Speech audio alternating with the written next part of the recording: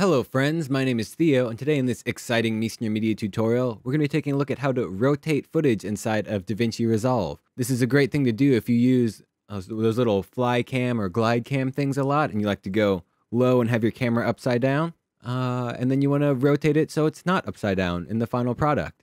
So without further ado, let's hop into DaVinci Resolve and get started.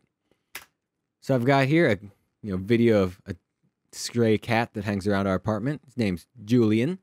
He's a cool guy, very, you know, photogenic as you can see, but currently upside down. How do we fix this? Very easy. We just go over into our sizing tab, and then you see you've got a rotate control. Just double click, type in 180, because that's 180 degrees, and you are good to go. Just that simple. Fastest tutorial yet. I'm not even going to bother you with the outro. Just know, like the video, subscribe, comment, social media stuff in the description. Uh, have a great day. Bye.